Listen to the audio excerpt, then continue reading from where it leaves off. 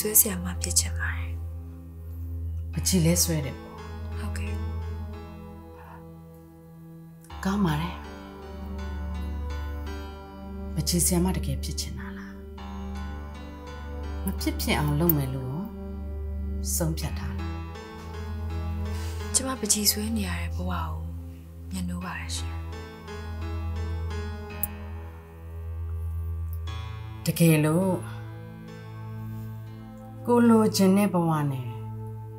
အချစ်ကိုလဲရမယ်ဆိုလဲနိုင်မှာမလား